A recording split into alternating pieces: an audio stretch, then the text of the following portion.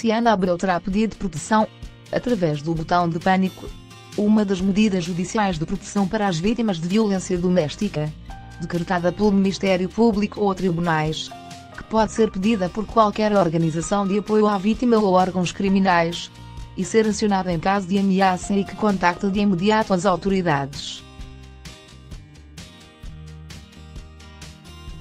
A Maria apurou que o tribunal acedeu ao pedido e que atribuiu o botão de pânico à atriz.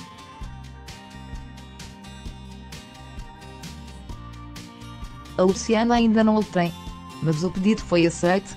É uma questão de tempo até lhe chegar às mãos, conta a fonte próxima do ex-casal. Recorde-se que Luciana Abreu terá apresentado queixa contra Daniel Souza por violência doméstica.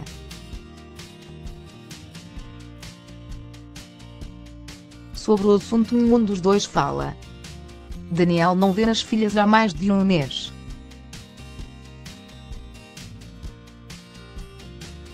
A relação e separação entre Luciana Abreu e Daniel Souza continua a dar que falar.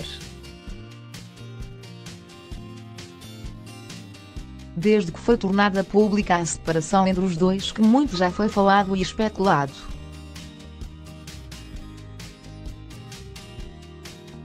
Os motivos para o desfecho de um casamento que se acreditava feliz ainda não foram divulgados.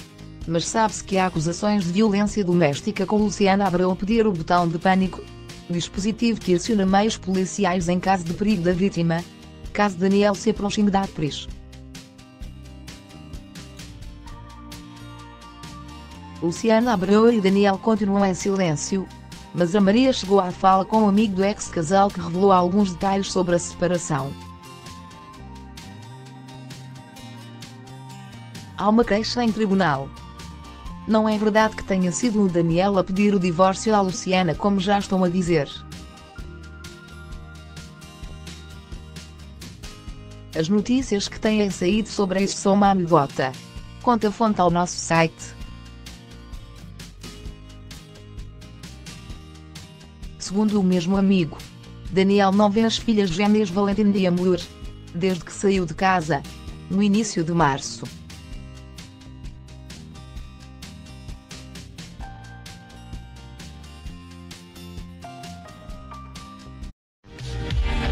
your friends will see you.